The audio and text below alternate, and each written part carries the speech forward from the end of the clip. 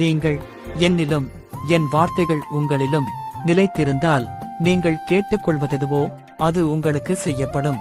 நீங்க இந்த நாள் உங்களுக்கு ஆசிர்வாதமாய் இருக்க இந்த வீடியோவை பார்த்து கொண்டு இருக்கும் என் மகனே என் மகளே நீங்கள் என்னிலும் என் வார்த்தைகள் உங்களிலும் நிலைத்திருந்தால் நீங்கள் கேட்டுக்கொள்ளுவதுவோ அது உங்களுக்கு செய்யப்படும். அநேகருடைய வாயின் வார்த்தைகள் மூலம் காயப்பட்டு இருதயத்தில் பாரத்தோடும் வேதனையோடும் கலங்கி நிற்கின்ற தேவப்பிள்ளையே உன் காயத்தை ஆற்றும்படி நான் உன்னோடு இந்த உலகத்தில் எவ்வளவு பணம் சொத்து இருந்தாலும் அவர்கள் பாக்கியவான்கள் இல்லை. தேவனுடைய வசனத்தின்படி வாழ்கின்றவர்கள் மட்டுமே பாக்கியவான்கள். கர்த்தருடைய வேதத்தில் பிரியமாயிருந்து இரவும் பகலும் அவருடைய வேதத்தில் தியானமாயிருக்கிற மனுஷன் பாக்கியவான்.